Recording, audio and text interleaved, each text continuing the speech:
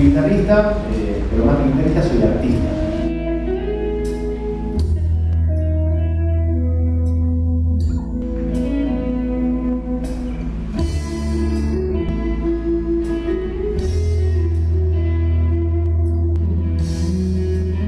Eh, trato de transmitir algo, digamos, con, con, con lo que me.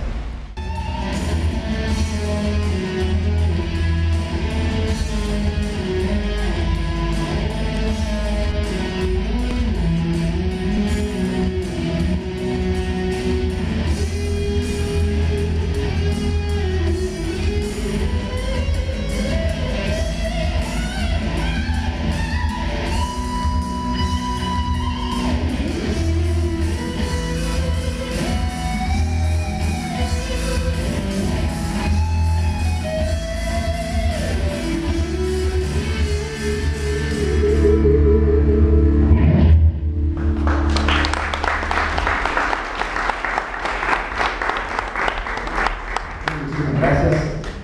Los aplausos. En este tema por ahí digamos me vieron un poco más tranquilo y por ahí como un poco más enérgico, ¿sí? Entonces transmiten distintas sensaciones. Si la toco así suena así y no te dice más que eso. Ahora digamos si nosotros la movemos un poco la cuerda, digamos la cuerda también, digamos la nota se empieza a mover y empieza a transmitir algo, empieza a transmitir movimiento, ¿sí? A la cuerda eh, la vamos a mover, eh, en el caso de las guitarras eléctricas la vamos a mover en el sentido, digamos, perpendicular a la cuerda, ¿sí? Entonces la vamos a mover así, como los trajes, ¿sí? Entonces nos apuramos ahí y ahí no le doy gratis y no, le transmite mucho, pero si la movemos, ¿sí? Empieza a moverse, le podemos mover rápido, lento, le podemos dar más o, menos rango de oscilación, ¿sí? Vamos a, vamos a tener di- distintas sensaciones. Por ejemplo, vamos a hacer más agudo, vamos a transmitir una, una sensación como lenta, apenas sí, así le podemos dar más velocidad, también le podemos transmitir un poco más de, de histeria. Está más histérica la cuestión. Entonces para mí, eh, más allá digamos, de, los, de la cantidad de escalas que, digamos, podemos usar y técnicas que hay muchas, me parece que está buenísimo el hecho de tratar de buscarle distintos sonidos a una misma nota, ¿sí?